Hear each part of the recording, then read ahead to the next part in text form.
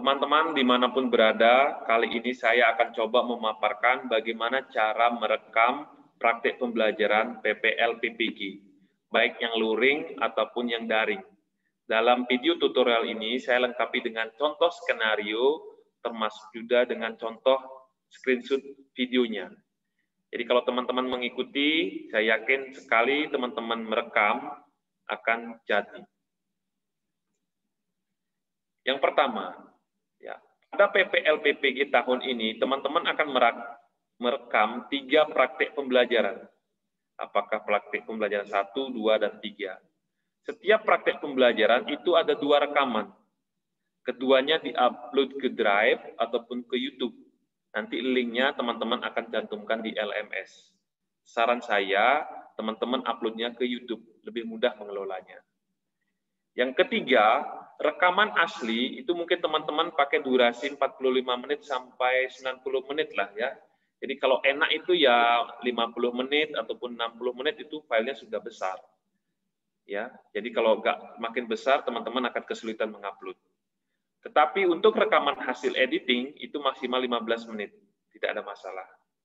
Ya. Nah, sekarang bagaimana caranya merekam supaya gampang edit dan waktunya cepat? Yang pertama untuk praktek PPL luring. Tahapan persiapan teman-teman harus memikirkan alat perekam. Apakah teman-teman akan menggunakan HP ataupun handycam. Pastikan cukup memorinya. Jangan sampai teman-teman ketika merekam ternyata memorinya sudah penuh. Ya, saran saya teman-teman merekam gunakan HP saja, sudah cukup. Yang kedua, alat bantu tolong perhatikan apakah teman-teman akan memakai tripod, monopod, ataukah teman-teman akan menggunakan menggunakan mikrofon tambahan. Itu tolong diperhatikan. Saran saya gunakan tripod supaya lebih stabil. Yang keberikutnya, teman-teman harus berpikir siapa yang merekam. Jangan teman-teman berpikir merekamnya sendiri. Saran saya, minta orang lain untuk merekam yang sudah biasa. Yang keempat, teman-teman harus siapkan skenario-nya, termasuk skenario informasi kepada anak-anak. Sehingga teman-teman, perhatian anak-anak itu bukan kepada perekam, tetapi kepada teman-teman yang mengajar. Yang kelima, sangat perlu teman-teman melakukan latihan. Ya, sehingga nanti hasilnya akan makin bagus. Di tahapan pelaksanaan, mahasiswa yang praktek itu mengajar sesuai dengan RPP-nya. Tetapi teman yang membantu perekam ya itu tetap melakukan proses perekaman sesuai dengan skenario yang telah dibuat. Apakah dari depan, dari belakang, dari samping, dari kanan, dari kiri, apakah dekat dengan siswa itu sudah yang merekam yang punya tugasnya. Finalisasi itu teman-teman cek setiap bagian video apakah sudah lengkap atau ada yang kurang. Kalau ada yang kurang, teman-teman ulangi cek kembali kalau sudah lengkap filenya, teman-teman berarti sudah selesai, tinggal melakukan proses editing. Bagaimana kalau praktek pembelajarannya daring? Di tahapan persiapan, teman-teman harus berpikir, teman-teman akan menggunakan media apa?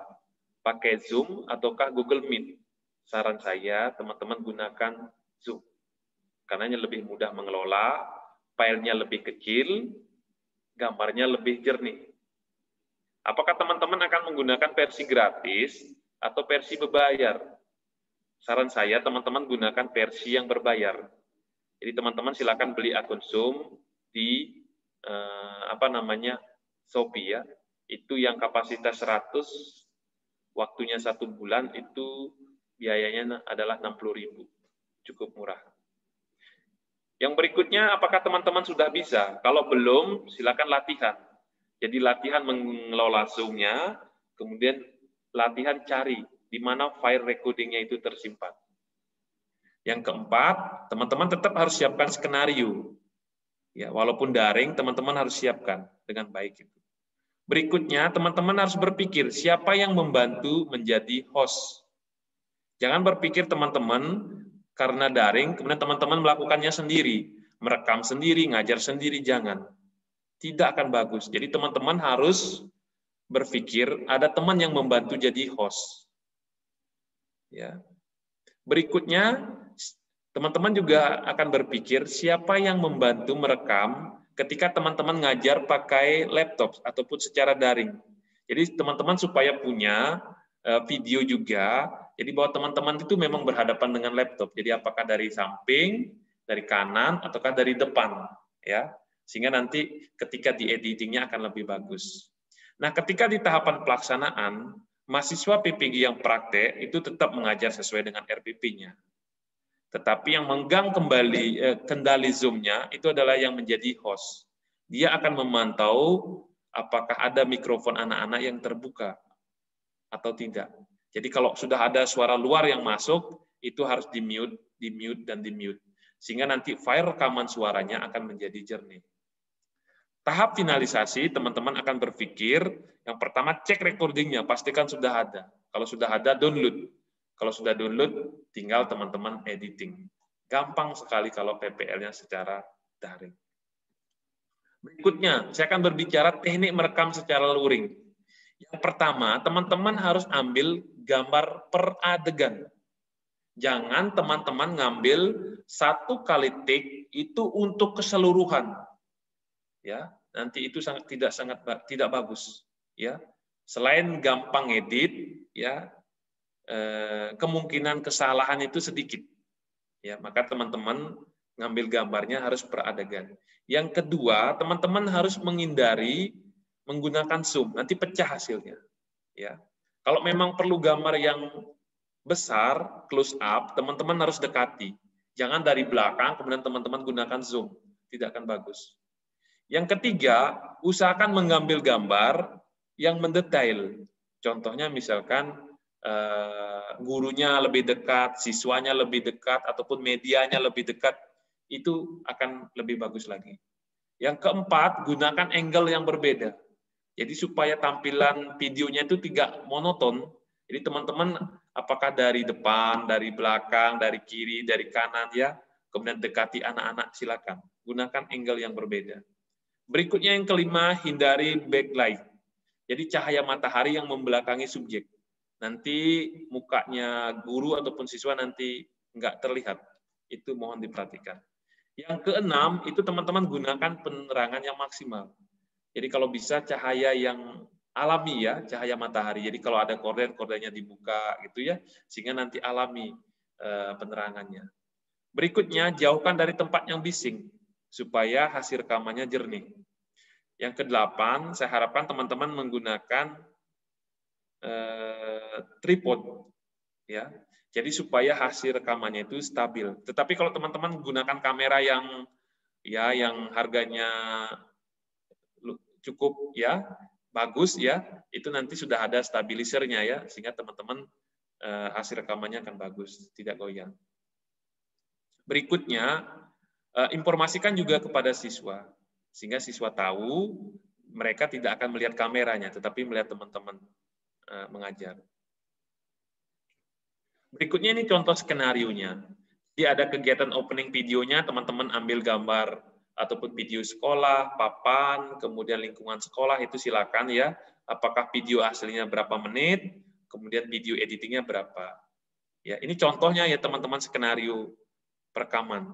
Untuk di kegiatan pendahuluan, di situ kan ada guru menyampaikan salam pembuka, mempersiapkan siswa, berdoa, persepsi dan tujuan, nanti skenario-nya apakah ambilnya dari belakang, penuh kelihatan guru dan siswanya, kemudian dari belakang tetapi gurunya saja yang diambil, ataukah dari depan, kemudian dari siswanya yang aja yang diambil. Itu berapa menit teman-teman susun dulu.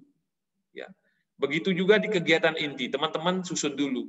Yang mana mau diambil dari depan, dari belakang, dari kiri, dari kanan, berapa lama waktunya ngambil, itu teman-teman Eh, buat skenario-nya. Nanti kalau sudah jadi skenario ini, teman-teman implementasikan, ngeditnya gampang, tinggal motong per motong, dan ini kan per adegan, jadi gampang. Untuk kegiatan penutup sama, di situ kan ada penyimpulan, refleksi, tindak lanjut, salam penutup. Jadi teman-teman apakah dari belakang, ya close up, dari depan, semuanya dulu terlihat, kemudian close up kepada anak-anak, jalankan kamera dari kiri ke kanan atau dari kanan ke kiri, itu hasilnya jauh lebih bagus. Ya, teman-teman bisa lihat contoh videonya yang ada di bagian deskripsi. Itu contoh video saya, teman-teman. Ini contoh untuk skenario uh, pembelajaran yang luring. Jadi di sini kalau yang editingnya ini ya, videonya itu adalah yang editing di pembukaan maksimal tiga menit. Ya, di sini ya ada gambar video tentang uh, apa pelang sekolahnya, kemudian bagaimana anak-anak atau lingkungan, kemudian bagaimana di dalam kelas gurunya membuka, kemudian yang dilihatkan juga anak-anak itu tiga menit. Ya, kalau teman-teman udah ngambil eh, tik yang bagus per adegan di sini kalau editingnya gampang.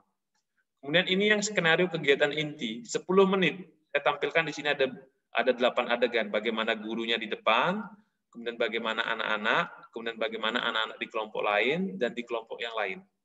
Ya. Kemudian ini bagaimana gurunya membimbing anak-anak, kemudian bagaimana anak-anak bekerja kelompok, bagaimana anak-anak berpresentasi. Ya. Itu gampang. Ya, kemudian di penutup ya mungkin ambil 5 2 menit ya, bagaimana teman-teman menyimpulkan materi, ya merefleksikan, tindak lanjut itu silakan. 2 menit. Sehingga nanti total 3 menit tambah 10 menit tambah 2 menit jadi 15 menit. Nah, sekarang bagaimana kalau skenario-nya pembelajarannya daring? Seperti ini. Ambil dari salah satu contoh eh, video pembelajaran daring dari Pak Palguna ya. Ini alumni PPG tahun 2020 eh, ya, sudah lulus. Nah, ini kan, ini contohnya. Jadi meskipun teman-teman nanti daring, jadi eh, video teman-teman itu di depan laptop itu terlihat.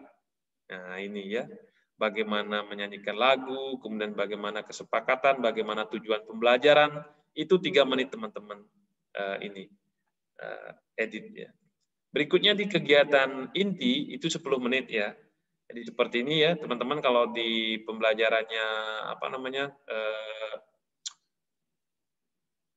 terpadu ya kan ada beberapa muatan tuh ya jadi teman-teman silakan uh, ambil ya dari muatan satu dari muatan kedua ataupun dari muatan ketiga. Ini saya ambil ya, bagaimana dari muatan pertama, kemudian bagaimana anak-anak mengerjakan LKPD, kemudian ada muatan kedua, bagaimana anak-anak juga mengerjakan LKPD. Itu maksimal 10 menit di kegiatan inti. Kemudian di bagian penutup itu dua menit, ya. Di bagian penutup kembali lagi tampilkan gurunya, ya. Berikutnya bagaimana anak-anak nanti akan membuat kesimpulan, kemudian bagaimana evaluasi pembelajarannya, kemudian salam penutup. Dua menit. ya. Jadi tiga tambah sepuluh tambah dua menit, sudah jadi lima belas menit. ya.